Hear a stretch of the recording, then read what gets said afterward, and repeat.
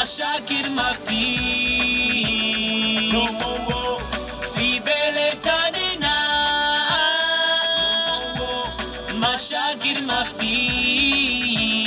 No more fibele tanina My name is Meen Meen from Coozos Clan, top artist in South Africa.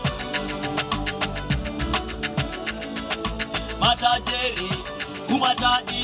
matajiri ai matajiri We are having a peace concert that is today, and uh, the peace concert is for South Sudan's artists.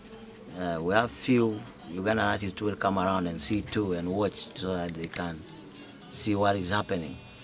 Uh, the uh, the main thing is to peace to, to preach peace and love among South Sudanese. That is the only main uh, agenda that artists are passing through now.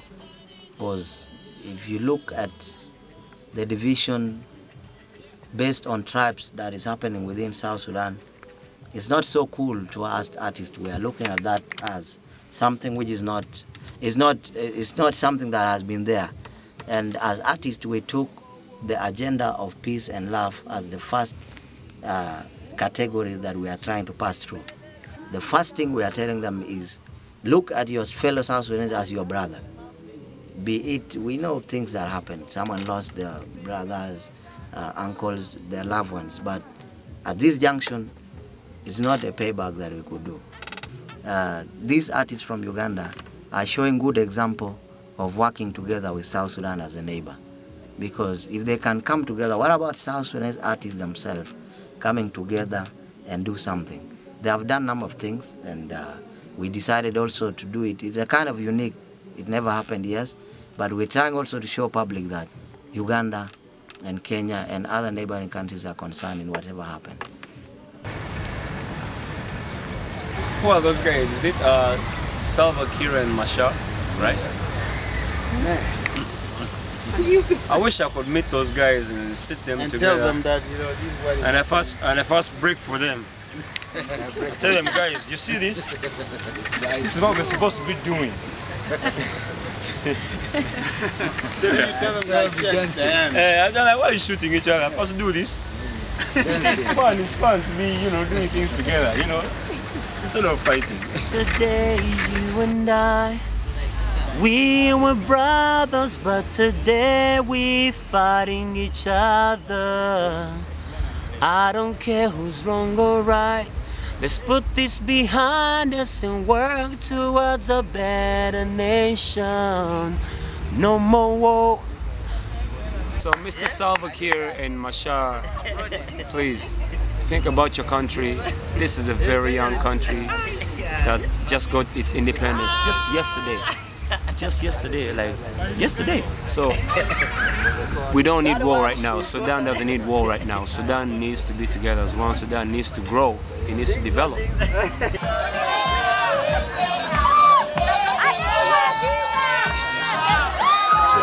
Sudan is my neighboring country. I'm a Ugandan and we're brothers and sisters, you know.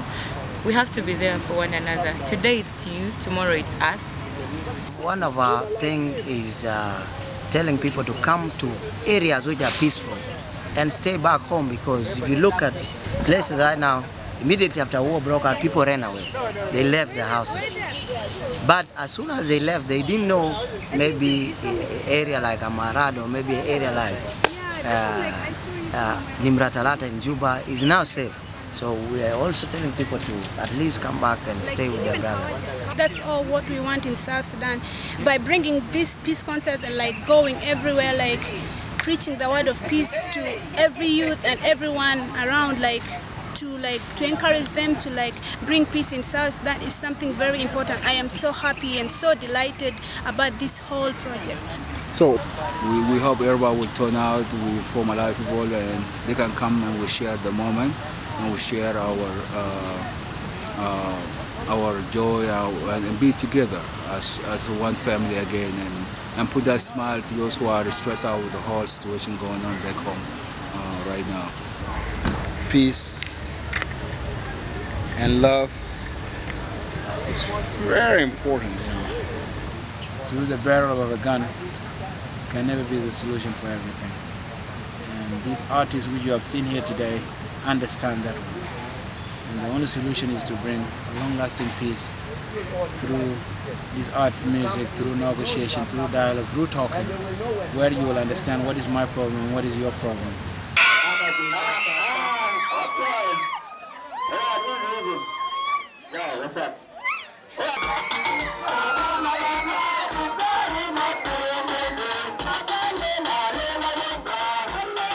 And as an artist as, and as a citizen, there are two things I want to change. Number one is South Sudanese to stop looking at themselves as it at, at a tribal lines. You see, that is the worst thing that we are doing. Uh, we should start looking at our fellow South Sudanese as South Sudanese, not from Dinka, from Equatoria, Nuer, and other places. That is one. There are places I've traveled, by the way, and I don't even know their tribes because reaching that place, you don't know where this person comes from. They are just uh, people from that country. Uh, number two, uh, I'm really trying to to uh, message to our politicians that they should really play a a mature a mature kind of politic uh, game to at least not being followed by citizens to, to, to, to start driving themselves on, on tribal lines. You see, that's a very important, that's a very important thing because if, if today, if a president is coming from a certain tribe and uh, a, an MP is coming from a certain tribe and they're having a problem, we, we cannot divide. I, I might like that MP because of certain reasons, certain, certain uh, uh, uh, certain uh, kind of leadership skills that I'm seeing at that person, not as my tribe mate, you see, and that's what is disturbing us. And uh, as an artist and a citizen too, I would really want that change. And we look at a, a kind of a fair, fair, fair, fair uh, ground of, of politi- politics. Uh, as an artist, I might see uh, the future of South Sudan based on some few things, not the whole country, because you can never just tell uh, on, on many things. Uh, the, the first thing is South Sudan, as we, we know, it's, it's a fast growing country. Without such things like war and all this, we were looking at a, a, a far, far developed country South Sudan. I mean a city that will happen in South Sudan.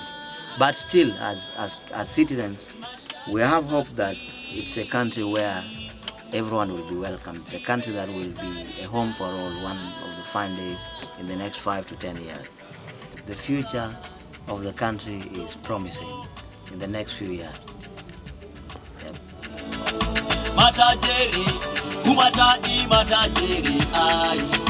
matajiri